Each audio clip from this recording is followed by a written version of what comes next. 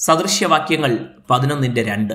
അഹങ്കാരം വരുമ്പോൾ ലജ്ജയും വരുന്നു. താഴ്മയുള്ളവരുടെ പക്കലോ ജ്ഞാനമുണ്ട്. ദൈവത്തിന് ഇഷ്ടമില്ലാത്ത ഒരു വലിയ കാര്യമാണ് അഹങ്കാരം. അഹങ്കരിച്ചവരെയൊക്കെ ദൈവം ലജ്ജിക്കാൻ വിട്ടുകൊടുത്തിട്ടുണ്ട്.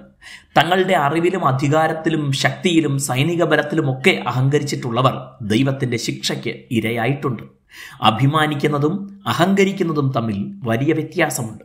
ചില ഉയർച്ചകളിൽ നേട്ടങ്ങളിൽ കഠിനാധ്വാനത്തിന്റെ ഫലം കാണുമ്പോൾ ഒക്കെ അഭിമാനിക്കുന്നത് സ്വാഭാവികമാണ്. എന്നാൽ അതിന് ഒരു പരിധിയുണ്ട്. അതിനും മുകളിലേക്ക് ചെല്ലുമ്പോൾ അത് അഹങ്കാരമായി പരിണമിക്കുന്നു. ബൈബിളിൽ രേഖപ്പെടുത്തിയിട്ടുള്ള ആദ്യത്തെ പാപമാണ് നികളം.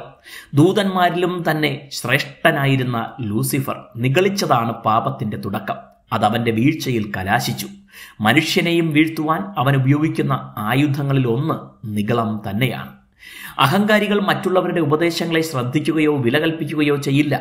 തങ്ങൾ അവരുടെ മുന്നിൽ ചെറുതായി പോകുമെന്ന ഭയമാണ് അതിന് കാരണം. എന്നാൽ യഥാർത്ഥ ജ്ഞാനമുള്ളവർ തങ്ങളുടെ അറിവിന്റെ പരിമിതിയെ തിരിച്ചറിയുന്നവരും അംഗീകരിക്കുന്നവരുമായിരിക്കും.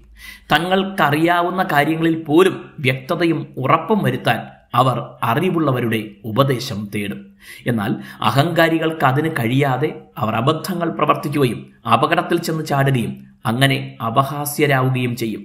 മറ്റുള്ളവരുടെ ഉപദേശങ്ങൾ ചോദിച്ച് പ്രവർത്തിക്കുന്നവർക്ക് വീഴ്ചകൾ സംഭവിച്ചാലും അതിന് ഒരു കൂട്ടുത്തരവാദിത്തം ഉണ്ടായിരിക്കും താഴ്മയുള്ളവർ മറ്റുള്ളവരെ ശ്രദ്ധിക്കാനും കേൾക്കാനും എപ്പോഴും തയ്യാറായിരിക്കും.